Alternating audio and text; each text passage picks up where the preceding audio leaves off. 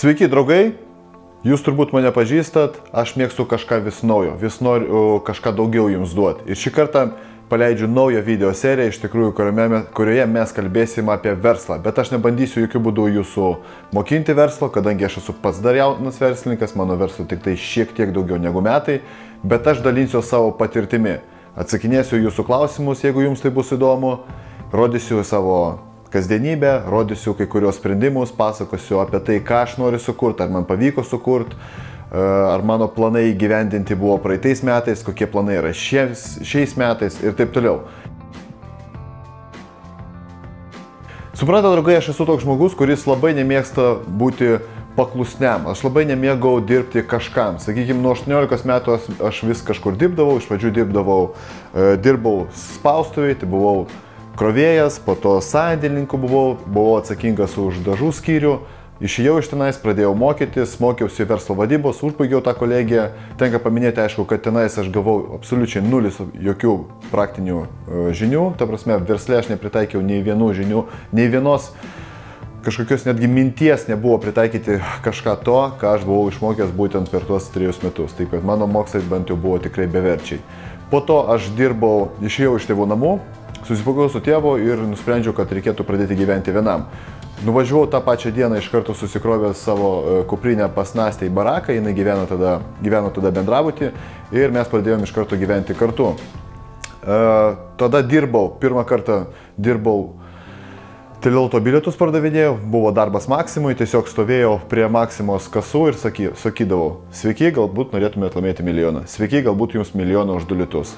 Dvi savaitės aš ištvėriau, vėlgi buvo iš tikrųjų gan sunku, labai daug negatyvo pyliant manęs, apgavikai, nesąmonė, loterija neegzistuoja, čia nesąmonė ir taip toliau. Aš tiesiog neištvėriau, pasiunčiau juos vėlniop, bet gražiuoju būdu ir išėjau iš darbo.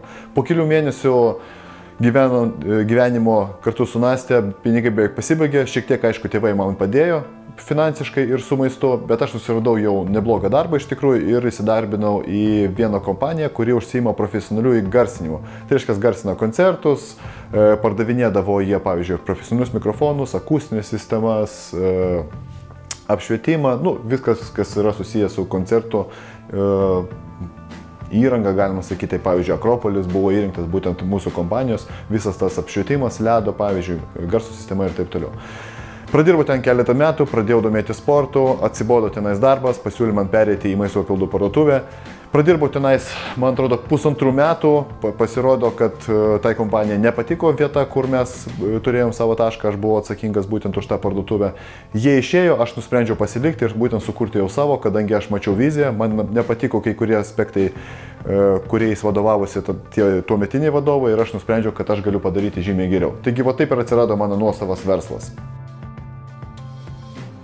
Po galais buvo iš tikrųjų nelengva. Visų pirma, toks verslas yra, bet koks turbūt verslas, iš tikrųjų mes dabar su partneriu kūrėm antrą verslą ir tai yra iš tikrųjų sunku.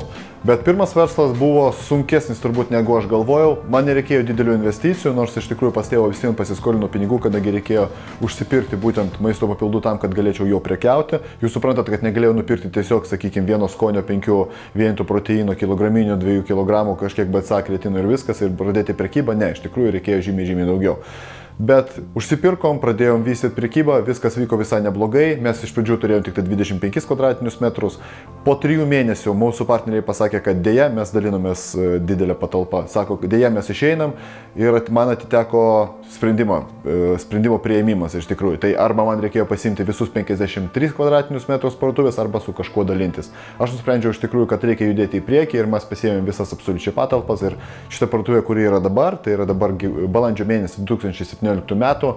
53 kvadratai priklausė jau man nuo praeitų metų vasaros. Sunku buvo turbūt tais aspektais, kad aš nežino, nežinojau labai daug. Aš nesu lankęs kažkokios spets verslo paskaitų, pamokų, seminaro, kursų ir taip toliau. Ir viską bandžiau e, suprasti, išnagrinėti pats. Ta prasme, bandydamas, darydamas, e, klysta, klystant pakeičiant visą tai, pakeičiant strategiją, pakeičiant visą mąstymą ir vis bandžiau judėti į priekį. Iš tikrųjų, kai aš iš pradžių galvojau, kad gali smogti iš vienos pusės problemos, tai jos atsirado iš visai kitokios problemos ir turbūt patarimas numeris vienas būtų jums, niekada negalvokite apie būsimas problemas arba apie galimas problemas. Kada jos atsitiks, tada jūs iš karto išspręsite tą bėdą arba tą problemą. Kol jų nėra, tiesiog stenkitės kuo geriau viską daryti, kuo daugiau uh, investuoti būtent į savo verslą. Iš tikrųjų, dažniausias, bene irgi klausimas, ar palaikė artimieji. Artimieji ėjo, iš tikrųjų, iš vienos pusės palaikė, iš kitos pusės, kadangi mano artimieji, nu kaip ir aš esu gimęs Tarybų sąjungoje, tai jų mąstymas yra šiek tiek kitoks. Jie vis kažko pabijo. Aišku, buvo ir man šiek, šiokia tokia baimė, ta prasme, kad aš išeinu, sakykime, į platų į vandenyną, pradėsiu pats uždirbinėti pinigus, pradėsiu pats save maitinti, galbūt neuždirbsiu, galbūt į minusų nueisiu, pas tėvą pasiskolino pinigų, reikės atiduoti, tas, tas, trečias, ketvirtas.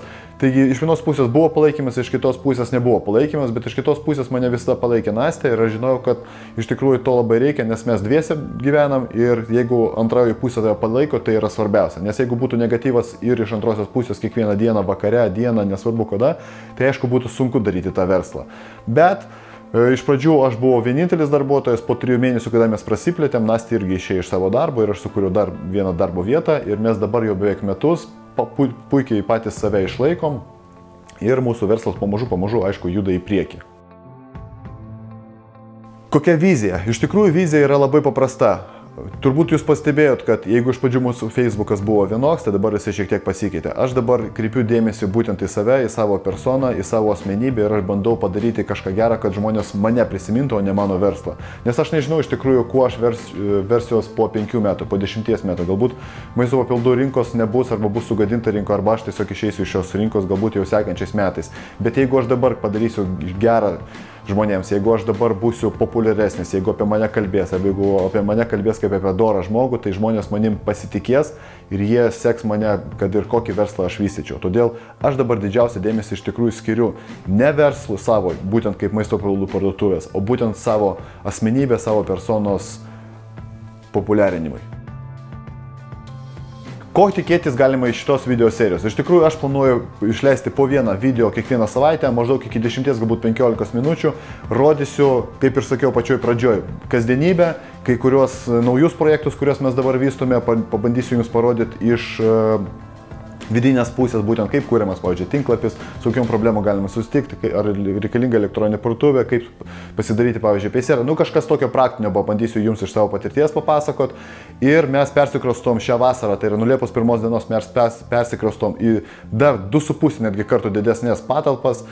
Tenais yra didžiulis, didžiulis iš tikrųjų projektas, vienas moderniausių, nu, iš tikrųjų turbūt ir bus moderniausia maisto papildų parduotuvė. Iš vienos pusės, o iš kitos pusės mes turėsim didelę, didelę, didelę patalpą būtent seminarams, čilinimui, draugams susitikti, podkastų filmavimui, įvairiems kitiems projektams. Taigi vėlgi, rodysiu jums, dabar yra tiesiog tenais nuogos sienos, vaikščiosim kartu su mumis, bandysim jums parodyti iš vidaus, kaip daromas remontas, ką reikėtų kreipti dėmesio, e, kiek kainuoja nuoma, kiek metam pasirašoma su sutartis, rizika, ar nerizikuoju, kur investuoju pinigus ir taip toliau. Pabandysiu jums maksimaliai daug suteikti praktinės, naudingos informacijos, bet tai jokių būdų nėra mokslai, tai nėra mokymas jums, tai yra tiesiog savo patirties pasidalinimas, yra tarsi toks dokumentavimas visko, kad, sakykime, po dešimties metų mano vaikas pasižiūrėtų šitą video ir pasakytų, wow, buvo iš tikrųjų įdomu.